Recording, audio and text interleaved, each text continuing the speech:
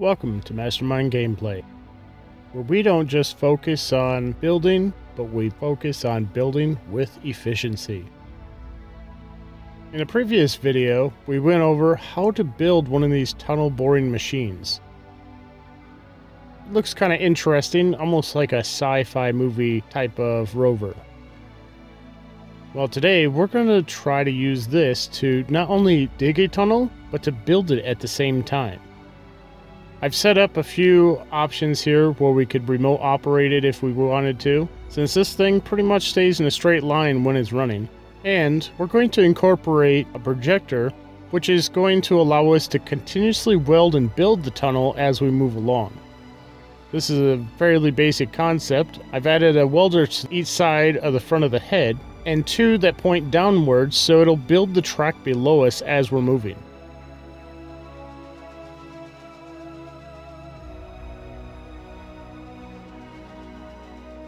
There you can see the projector faced right on the corner.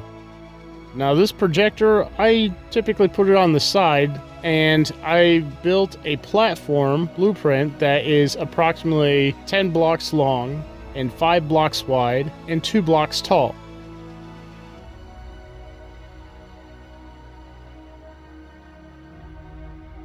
Now you can adjust this any way you want. All you have to do is create a blueprint, then add the blueprint, and double click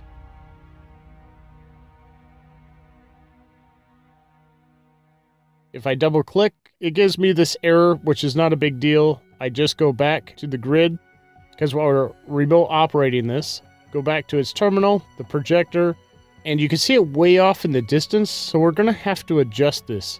It's kind of that great area. You might see it move around, bob around, and there you have it. Now you can see it.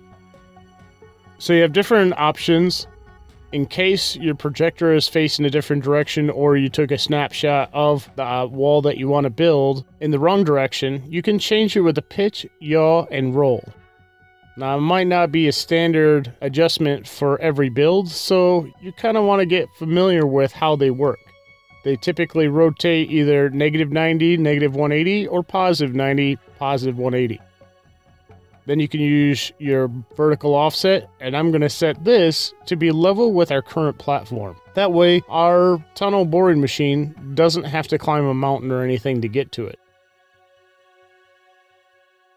Now, the way this head is spaced on this tunnel boring machine is almost exact to the spacing of using three blocks wide, and then you have the two block tall walls. If you do more than this, your welders might not actually engage to start welding the walls. If you do less than this, it definitely won't fit. You may not get your tunnel machine back out.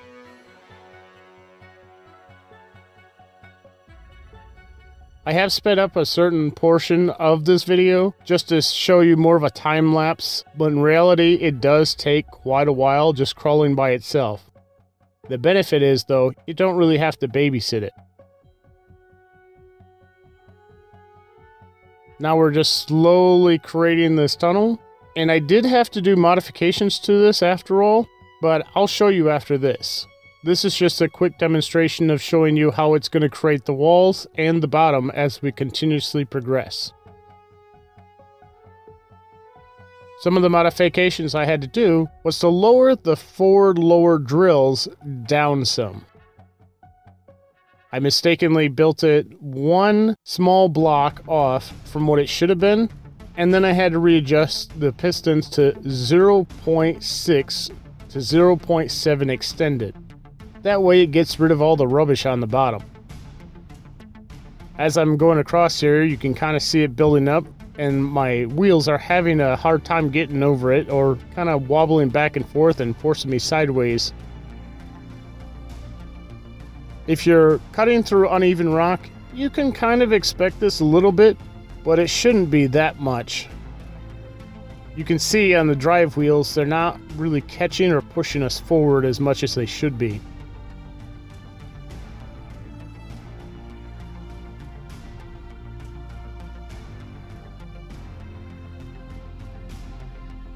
Once the modifications are installed, I'll show you the difference and you'll see what I mean with how smooth this thing will operate after it's been adjusted.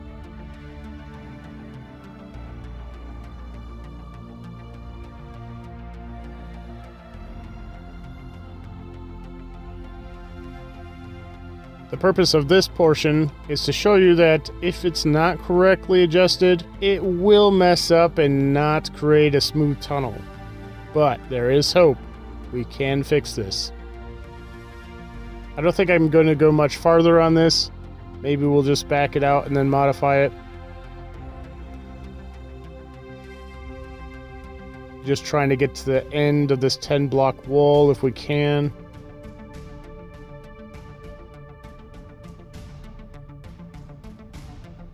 You can see it's sliding down one side or the other because of the uneven cuts from the drills.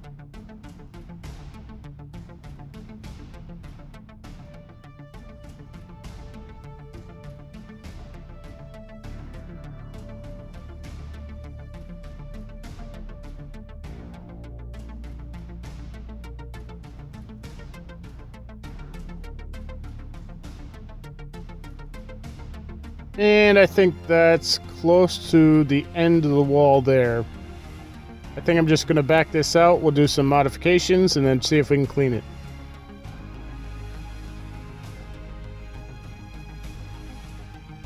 So if you watch, I have lowered the drills, like I said, by one small block. They were a little bit high, so I added a conveyor block between my piston and the original conveyor block and then I readjusted the height of the pistons down to 0.6 to 0.7. Now as we go through here, you can see it's picking up all the stone. So there's nothing in this tunnel at all as you're building it, except for maybe a very slight amount along the sides.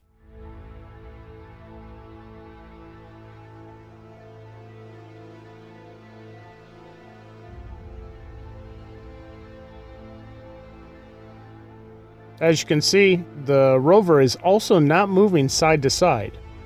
It's not having a big tendency to slide one side or the other. And to control this, all I'm having to do is lock or unlock my rotors. And so one side will catch up or slow down.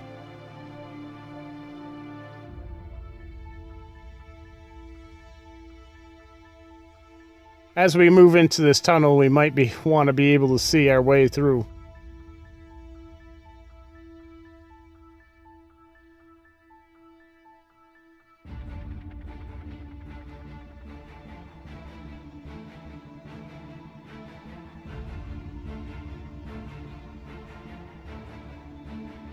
In reality, this might be about a two minute segment of going through this tunnel and clearing it out, but it's actually going to take you about 10 to 12 minutes.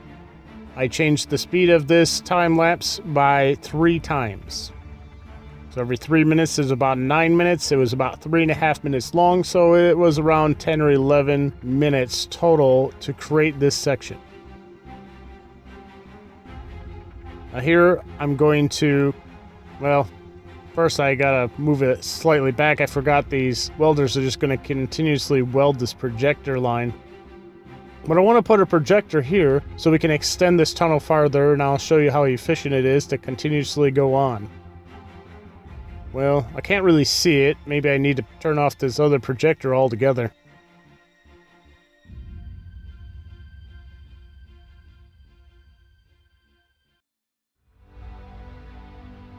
That should do it.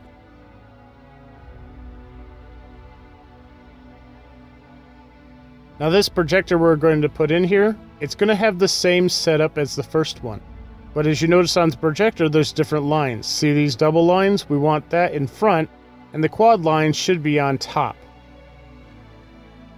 Okay, now all we have to do is set the lines and we continue on. I didn't show you that portion because basically it's the same as using the original.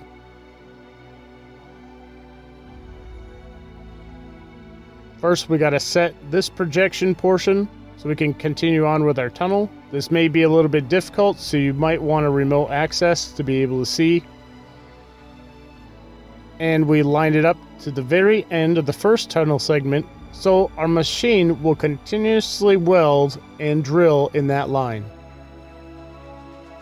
The hazy parts are your projection. Depending on the type of material you're using, I'm using corrugated, it might be easier or harder to see because the projector flickers a bit.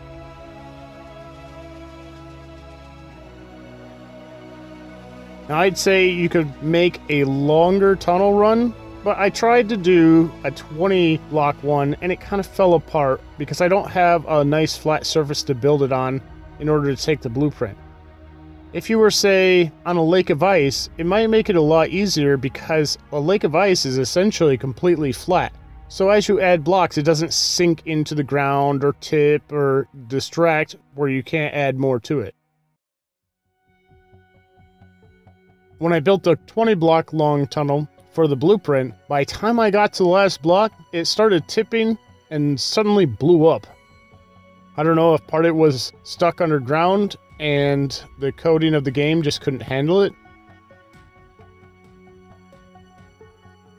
As you notice, it's pretty smooth. We're just going right through the tunnel again. I'm going to do 10 blocks. And the first time I did this, I realized, man, it is so annoying unless you want your roof or your ceiling to be a stone, you need to clear out that stone. So later on, I'm going to add a few more drills that'll fit in this tunnel as well, so we can clear that out as we're going. That means we'll have four drills on the bottom and four drills on the top.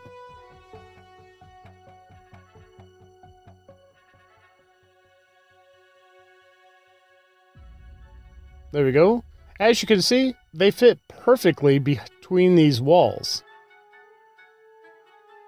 Of course, after you add the drills, you'll have to update your controls. I have them set for my number 5 button on the G screen. And you have to go to the terminal and regroup them. Because otherwise, when you hit that button, if you didn't add the other drills into that grouping, they're not going to turn on. And here we go, where all we're doing now is clearing the ceiling. This will enable us to put a regular ceiling to this tunnel. If you wanted to, you could potentially just make your blueprint with a ceiling, but I didn't do that because there's no way you can really fit welders on the top of this unless you put them in the back area. Which it is plausible to put them, say, behind the cockpit and have them pointing upward because it is tall enough.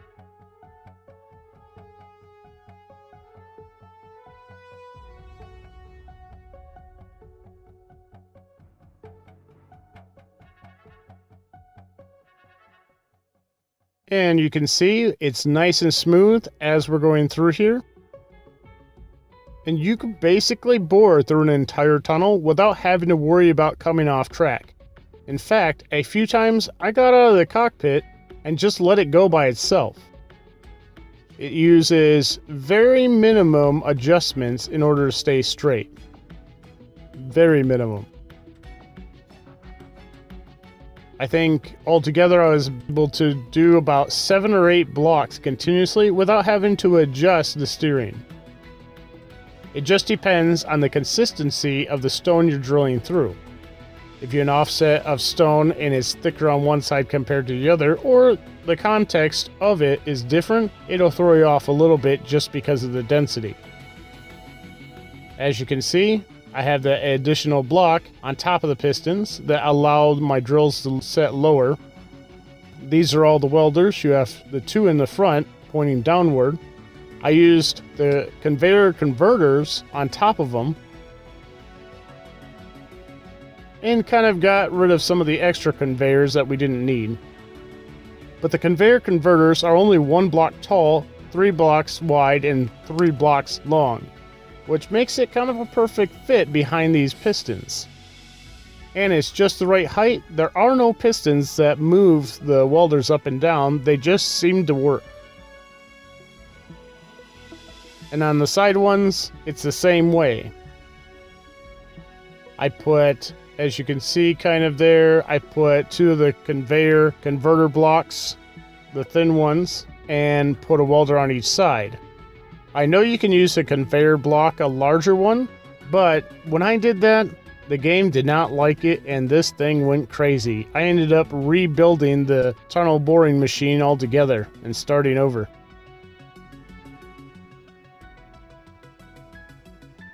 Also, to note, don't set the share inertia on your pistons or your rotors when you build this. If you do, again, the game will freak out for some reason and you will go spinning in one direction or another. My tunnel boring machine ended up doing backflips until it destroyed itself. Until I figured out if I keep these inertia sharing options off, it won't do that anymore.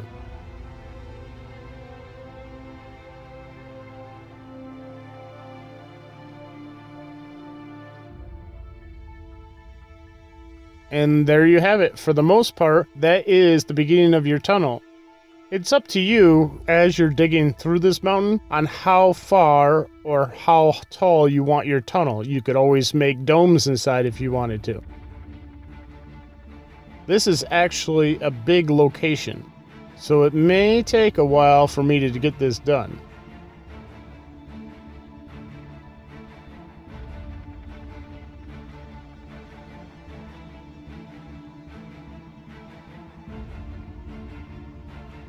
Well, as always, thanks for watching, and I hope you leave your tips, tricks, and your own strategies for digging tunnels in the comments section. I appreciate it.